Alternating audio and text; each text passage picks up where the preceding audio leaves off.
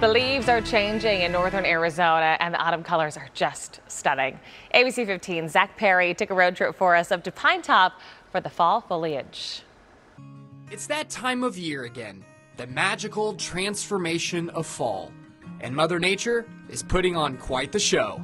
Northern Arizona, that's what we love about it is you really do get the change of seasons. You get to enjoy hikes and the cool weather. And um, I just love the colors and it, you know, you get to wear sweaters and, and just enjoy decorating with pumpkins and just having a really uh, good time. The colors of fall are unbelievable. You need to pay a visit up to Pinetop-Lakeside in northern Arizona. Just three hour drive from Phoenix and you'll see amazing colors of autumn, like these yellow aspens right behind me.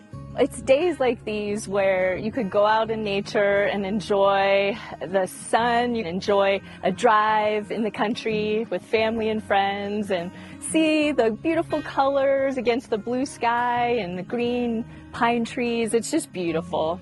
This weekend getaway provides exhilarating hikes through color soaked canyons. Or just take the car for a drive with the autumn leaves on full display.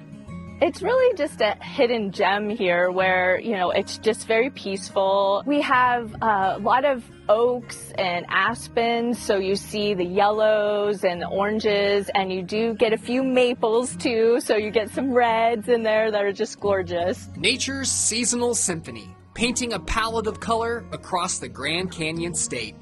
Every fall is the chance to embrace the beauty of the changing seasons. It's really just a, a quick drive from Phoenix, and, and it's just such a, a nice spot to um, get out of the heat. Don't miss this incredible time of year and plan your visit to experience the beauty of fall foliage in northern Arizona. Reporting in Pinetop-Lakeside, Zach Perry, ABC 15 Arizona.